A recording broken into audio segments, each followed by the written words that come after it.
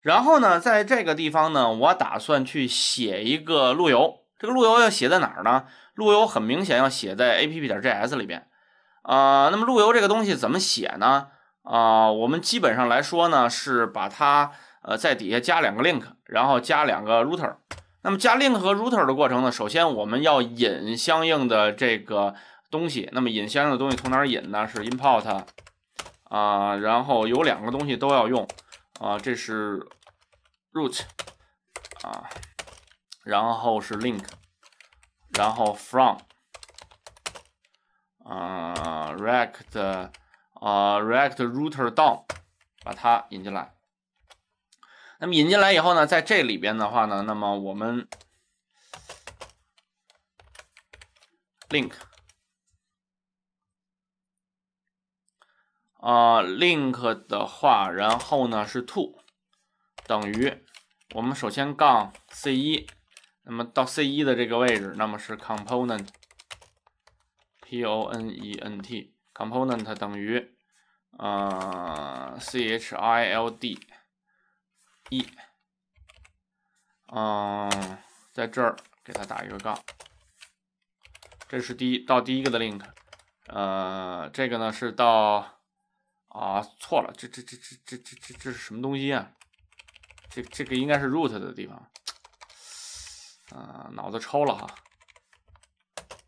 这没有这个东西，然后后面是杠 link。啊，然后在这个呢，它只有一个 to 的情况下呢，这是 chld，呃，下划线一，我们给一个这样的位置。然后后面呢，根据这个的话呢，Ctrl C，Ctrl V，我们再让它到 C 二，link 到 C 二的时候呢，我们给一个二。然后呢，在这个地方呢，我们呃，为了让它能看起来，就 nb sp 分号。and nbsp 分号，OK，我们加两行。那么这样的话呢，它会呃形成一个 link。那么有了 link 以后呢，底下我们就要有 root。那么直接在这上改写了啊，root root pass 等于 c 杠 c 一分号，然后 component 等于大括号大括号。Ctrl C，Ctrl V，那么这个呢是 C 二啊，child 二，OK。那么这样的话呢，我们把一个呃跳转就可以，因为刚才我们是无条件的把两个都都渲染上。那么现在呢，我让它通过一个菜单呢，能够来选一选。那么当然这个做完了以后呢，底下呢有一个在呃 index 这个地方呢，那我们就要做一个事情，就是要把它包一下。这底下就会出现一个问题啊，就是原来正常的时候，我们 router 也是包在 APP 外边，大家回忆一下，回去往回翻一下。那么到这儿的时候，provider 也要把它包一下。那底下的问题就是，到底谁在里边，谁在外边呢？就是你嵌套总有一个关系吧，反正他们都得把 APP 包住，不包住这底下这事儿没法玩。那么怎么包？谁在里，谁在外？我的，我我我告诉你啊，其实都一样，谁在里边，谁在外边都一样。但是来讲呢，就是都都会产生问题。但是大家通常来讲呢，通常的做法啊，是把 provider 包外边，然后把 router 包里边。你去看网上大量的历程，或者是这个很多人写的这个呃，有一些呃 demo 也好，框架也好，甚至一些代码也好，大部分人呢是这么写的。那我们尊重的一个公序良俗，那么我们呢也使用这种方法，就是外面是 provider，里边是 router，但事实上来讲呢，这个谁搁里边都一样。那么在这儿呢，那么我要再引一个东西叫 import，这个东西还记得吗？是 bro。Sir router，然后 as router，对吧？要包一个 router，然后 from 谁？rect router dom，对吗？OK，我们把这个东西引完了以后呢，然后把 router 给它包里边去，r o u t r，当然这个地方呢，给一个杠 r o u t r，OK。然后后面这个路由就应该能 work 了，然后我们去看一下啊，我们大概试一下。哎，这开始报错了。呃，invalid expect a string for building class，哎，这啥意思？element type is invalid。嗯，哪个地方写错了？啊，嗨，简直了！错在哪儿了？刚才仔细看了一下，查了一下，这个地方敲错了。这个地方的字母是 B R O，应该是 W S E R。那么，所以呢，你这敲错了以后呢，事实上来讲，这个 router 它就不认识，是 B R O W S E R router。好，那么如果你把它拿掉以后，呃，我们再刷一下这个页面，好，这就出来了。唉，所以这个就是。有时候写代码这个实在是没办法，这个当然这这这这这是敲代码的人的问题啊，但是实在是没法避免这种敲错了然后那什么的状态。好，那我你看我们现在有一个路由啊，我点一一就出来，我点二二就出来，而且呢这些功能呢都可以，比如说我在这增加数，然后我点到第二个呢，我给它改个名字，OK，这都能改得上去。那么我们要说的其实是什么问题呢？是说，在这儿，如果呃，我们在 AppJS 这个地方啊，我们做这么一件事情，嗯，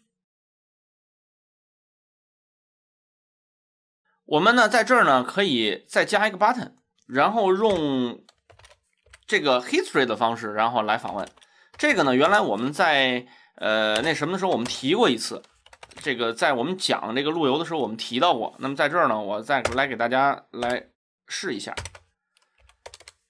就是我做一个 button，这个 button 可以用 onClick 的模式，然后是 this 点上面我需要这这我需要一个函数了，好，我翻过来先上面写这函数，这函数呢，比如叫 fn，呃，括号，呃，然后呢，fn 里边呢其实就干一件事情，是说我 this 点点 props 点 history，这个东西是谁放进来的？s t o r y 别拼错了，嗯，h i s，嗯，h i s t o r y 点 history 点 push，这个其实是干嘛呢？这个是用程序的方法来跳到 c 二链接，这个是呃路由，用 js 的方法跳到呃这个杠 c 二的。UL，而且呢，这首先是拿 JS 调入，你调这个 JS，它就相当于点了这个东西。而且呢，我们再说一点，这个是是谁在 props 放了这个 history 这个东西？它是外面那个 router 干的事情，把 props 上放了 history，然后呢，你调上它的 push。它就 push 到 S 二了，我们可以可以看一下啊，这是 fn 点点 bound，这个太讨厌了。然后 bound 的时候呢，有个 this，啊，这 bound 完了以后呢，这是 button，button 要有个名字啊，比如说我们叫去 C 二，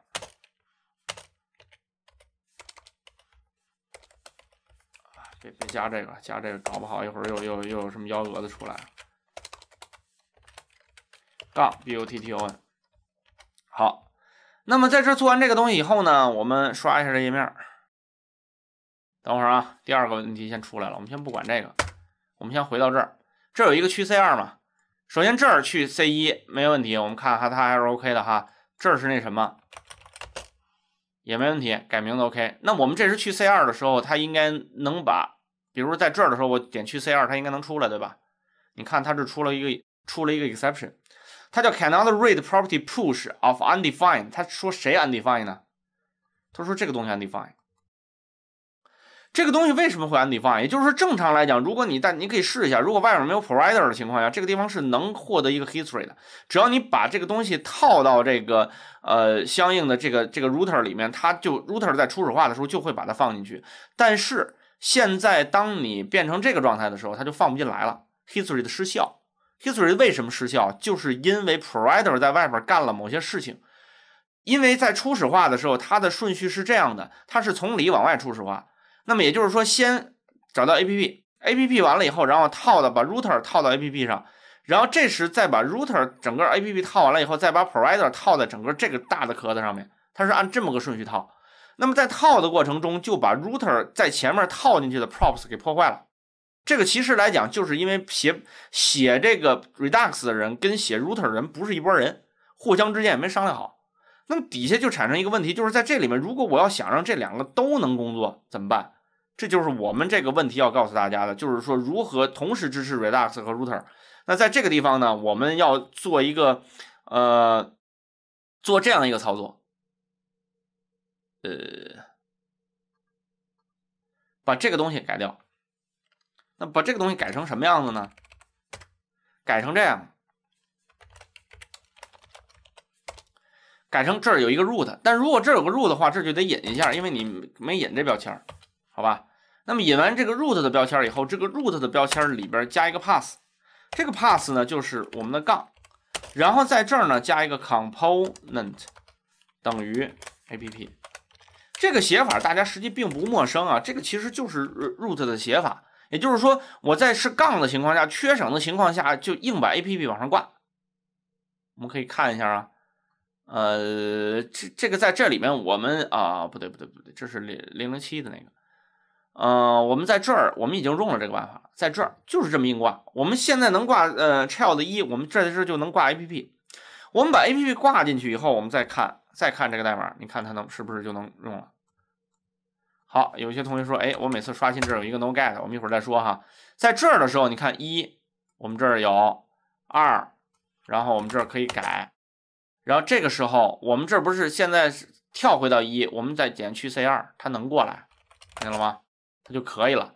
好，那么刚才这个问题啊，你看这是杠 C 二，然后我这么一一更新就没了，这是什么问题呢？这个问题呢，我们呃要改一个地方。这个地方稍呃稍等哈，把它拿出来，呃，这个是要改哪个地方呢？这个是在 dev server 上我们要加一个配置，嗯，在这个地方 config，我们在配这个 dev server 的时候，这是我们所配的啊，先把这个去掉。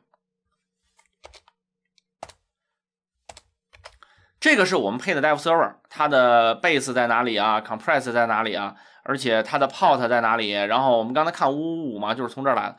然后在这儿除了以外呢，我们再需要再配一个选项叫 history 啊 API fallback。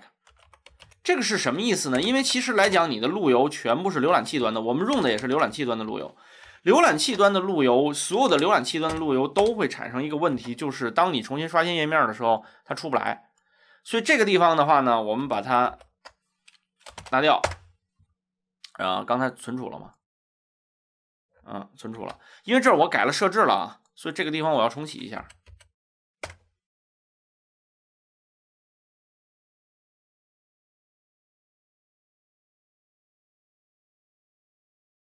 这回出来了吧？这回在这儿，你再去访问，你看它就能出来了。所以这个地方呢，等于相当于我们要改这么两个配置，以使得我们整个在 Redux 跟呃 Router 之间能够工作的更好。这其实就是 Redux 和 Router 之间互相影响。当然后面这个问题呢，其实 Fallback Fallback 本身也是需要的。